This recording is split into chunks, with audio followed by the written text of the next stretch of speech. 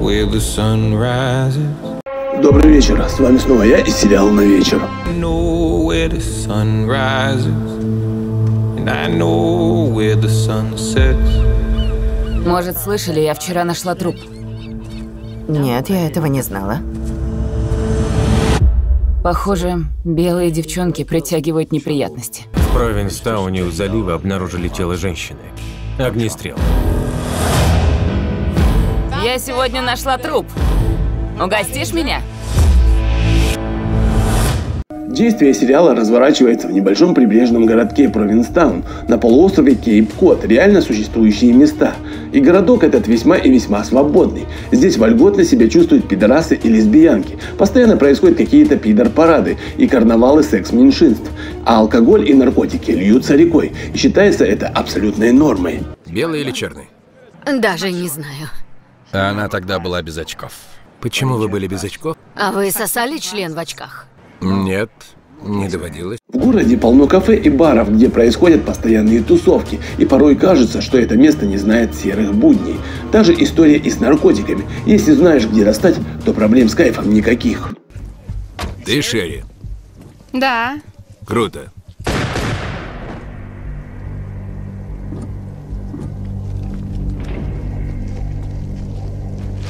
Уже не красотка. Джеки молодая женщина, работает кем-то вроде полицейского в сфере рыболовного надзора. Она и ее напарник и еще несколько человек следят за любыми незаконными действиями, связанными с рыбой и морепродуктами, но и вообще правонарушениями на воде. Хотел сказать на ней кулон со словом Люкас. Это какое-то имя? Твою мать.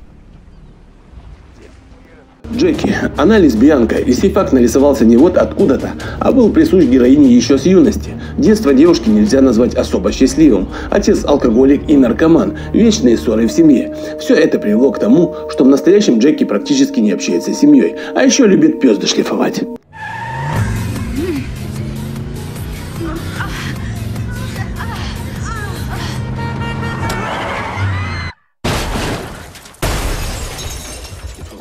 На фоне постоянного употребления алкоголя и наркотиков Джеки то и дело попадает в разные переделки. И только благодаря напарнику Эду, взрослому мужчине, для которого девушка как дочь, она еще не уволена со службы, тот постоянно прикрывает ее лесбийское очко и заступается. А все потому, что не считает героиню конченным человеком, любит ее и постоянно просит заканчивать с вредными привычками. Джеки также любит Эда, но живет так, как ей нравится, не считая, что у нее есть проблемы. Любишь танцевать для своих дегенератов?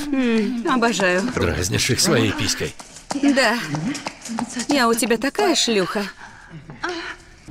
Но у меня самый лучший член, конечно.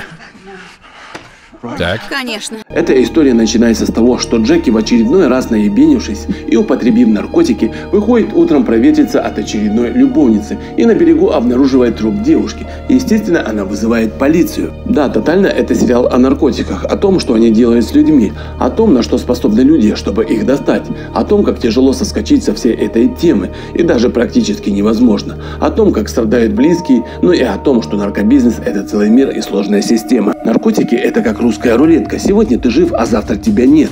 Причем это касается и тех, кто употребляет, и тех, кто ведет этот бизнес.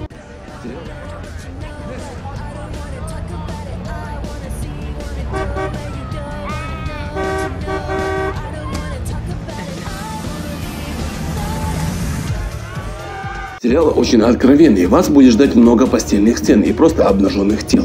Поэтому тот, кто обмирает даже от поцелуев, у кого встает или мокреет, не уверен, что стоит начинать его смотреть, во избежание ярлыка. Не сериал, а сплошной разврат.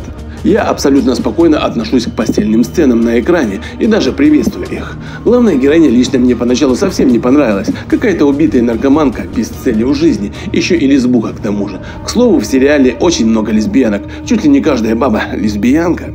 Дашь ключ от кладовки? Серьезно? Что, членов не видела? Я золотая звезда. Значит, точно видела Дилда.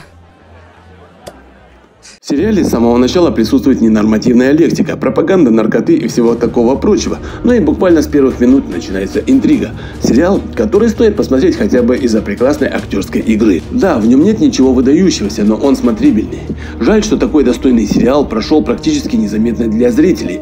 По крайней мере, никто из всех моих многочисленных знакомых его не смотрел. С вами был я, Калигула. Ставьте лайки, подписывайтесь на канал. Пока и не торчите.